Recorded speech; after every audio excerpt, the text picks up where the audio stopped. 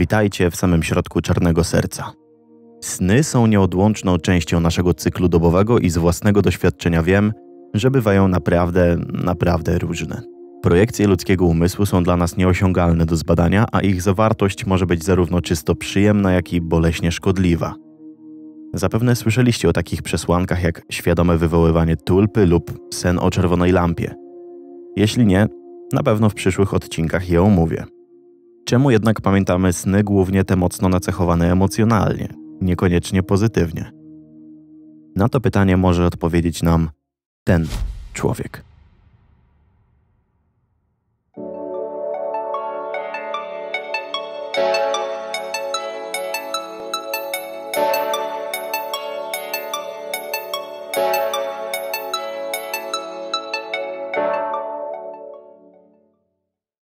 Jeżeli śniła ci się twarz tego mężczyzny, to wiedz, że nie jesteś jedyną osobą, która czegoś takiego doznała, ponieważ każdej nocy na całym świecie setki osób śni właśnie o tej twarzy.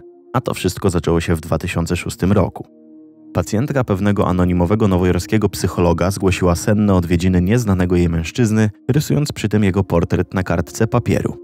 Nie były to jednak straszne odwiedziny, ponieważ owy mężczyzna starał się jej pomóc, dając jej różne rady dotyczące jej prywatnego życia. Pan psychiatra zachował rysunek twarzy, który leżał u niego na biurku jeszcze przez kilka dni, aż pewnego kolejnego razu zupełnie inny pacjent rozpoznał twarz narysowaną przez kobietę.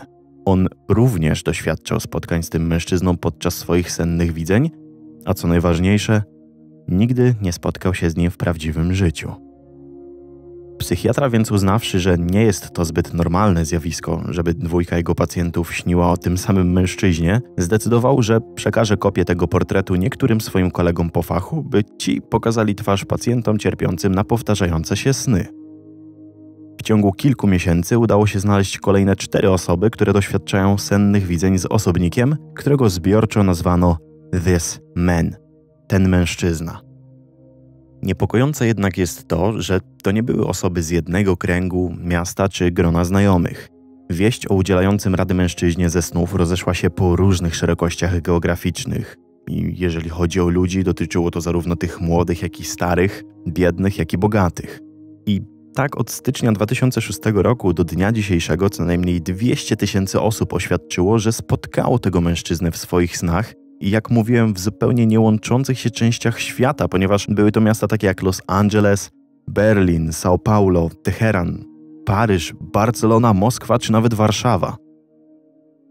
Powstały dziesiątki portretów z różnych zakątków świata, jak i wzory ulotek, które zostały rozwieszone w większych miastach na całym świecie, a celem było to, by odnaleźć mężczyznę, który swoją obecnością zostawił ślad na psychice setek osób. Jednakże żaden żyjący człowiek na Ziemi nigdy nie został rozpoznany jako this man. Według sennych opisów ludzi, w znacznej większości this man wydaje się być człowiekiem bardzo przyjaznym, pozwalającym na wielką swobodę w działaniu i dokonywaniu rzeczy niemożliwych w swoich własnych snach. Wiele osób czuło lub może i nadal czuje pociąg seksualny do tego mężczyzny i niejednokrotnie zakrawa to również o sytuacje czysto homoseksualne, mimo iż śniący nigdy takich skłonności nie wykazywali w prawdziwym życiu. Czasem this man występuje w przebraniach, stojąc i nic nie robiąc. Czasem podąża za nawiedzonymi osobami, a czasem nawet pomaga im się obudzić. Niestety bywa również i tak, że this man we śnie staje się łowcą i odgrywa brutalne sceny, torturując śniącego w jego własnym umyśle. Niemniej jednak każdy z tych snów łączy jeden motyw wspomniany na początku tego filmu – służenie radami i pomocą. Każdy z opisanych snów, które udaje się znaleźć w internecie, wskazuje na to, że This Man za pomocą alegorystycznych, metaforystycznych czy zwyczajnie powiedzianych prosto w twarz reguł stara się w pewien sposób pomóc osobom, w których umysłach zaznacza swoją obecność. No tylko dlaczego? Na ten temat powstało wiele teorii. Skąd więc jego wizerunek w snach? Społeczność, która zdecydowała się odnaleźć powód pojawiania tej wyróżniającej się postaci, wytworzyła zbiór hipotez, które już za chwilę Wam przedstawię. Otóż pierwszą bardzo ciekawą hipotezą Thismana jest ta opierająca się o teorię Karla Gustawa Junga o zbiorowej podświadomości. Mówi ona o tym, że wszyscy ludzie są powiązani ze sobą w pewien sposób, tworząc wielką sieć ze wspólnym rdzeniem. Twarz tego mężczyzny ma być swoistym archetypem przyjaźni, pocieszenia i wsparcia. Oznacza to, że twarz z takimi właśnie rysami wpływa na nas tak bardzo, że każdy z nas podświadomie reaguje już tak samo zaufaniem. Może się okazać, że this man tak naprawdę nie istnieje, a nasz mózg stara się nas po prostu zwyczajnie oszukać, wmawiając nam, że gdy spotkamy mężczyznę o takich właśnie rysach twarzy, warto byłoby mu zaufać. Inną z hipotez jest teoria religijna mówiąca o tym, że this man jest manifestacją Boga lub szatana, przyjmując ludzką postać, który pod płaszczem mężczyzny odwiedza nas w snach. Jako Bóg może próbować nawracać niewiernych, a swoje owieczki utwardzać w wierze. A jako demon natomiast stara się ubezwłasnowolnić kolejne ofiary tak, jak robią to demony zazwyczaj. Kojarzycie legendę o panu Twardowskim lub postać Gantera Odima z Wiedźmina? Demony uwielbiają się zakładać i wchodzić w różnego rodzaju umowy. No i także Thisman może funkcjonować podobnie, oferując dobre rady, które mają nam pomóc w danej chwili, by zaszkodzić nam w późniejszym czasie.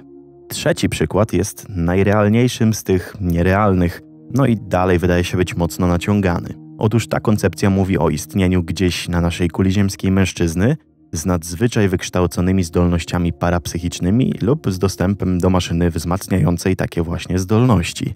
I ten, że mężczyzna jest w stanie wchodzić do naszych głów w momencie zasypiania. W taki sposób od roku 2006 podróżuje między różnymi zakątkami świata, odwiedzając sny ludzi i próbując nam coś przekazać lub może zwyczajnie się bawi.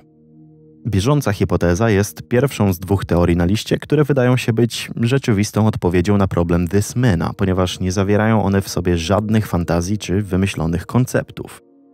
Teoria fałszywych wspomnień mówi o tym, że ludzie z reguły nie są w stanie zapamiętać twarzy widzianej we śnie, a jeżeli już ją w nim widzieli, to była to wcześniej napotkana twarz.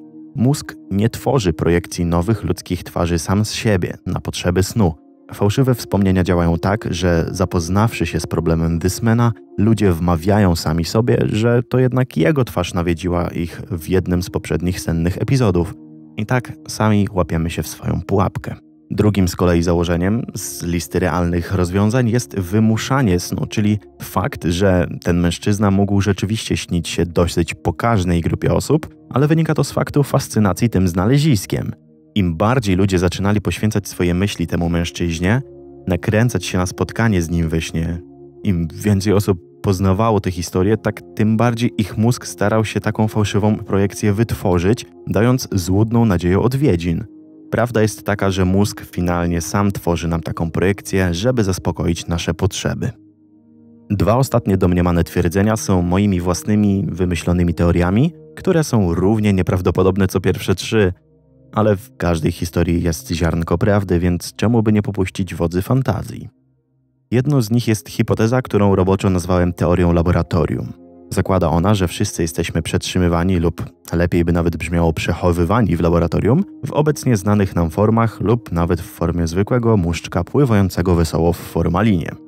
Mężczyzna, którego część z nas widuje we snach, to naukowiec, który bada poszczególne osoby i bawi się z nami, naszymi myślami, w znanych tylko dla siebie różnorakich celach.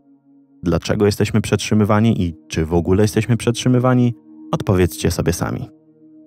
Ostatnim pomysłem, na który wpadłem, może być hipoteza symulacji, mówiąca o tym, że mężczyzna pojawiający się w nocnych projekcjach jest osobą chcącą wyrwać poszczególne jednostki z symulacji właśnie, w której obecnie żyjemy. Zupełnie jak w filmie Matrix, jest on w stanie dostać się do naszych snów i za pomocą tamtejszych działań daje nam drobne wskazówki nakierowujące nas na opuszczenie zamieszkiwanego przez nas limbo. Sam nie wiem, czy chciałbym opuszczać swoje bieżące, wymyślone, sztuczne życie na rzecz tego prawdziwego, gdybym wiedział, że mam się teraz obudzić w jakimś przedziwnym kokonie.